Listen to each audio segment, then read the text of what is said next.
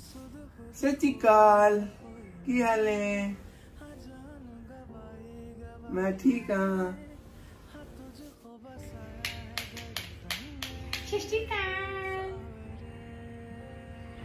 शशिकाल बड़ी बड़ी बाबा को बोलो शशिकाल शशिकाल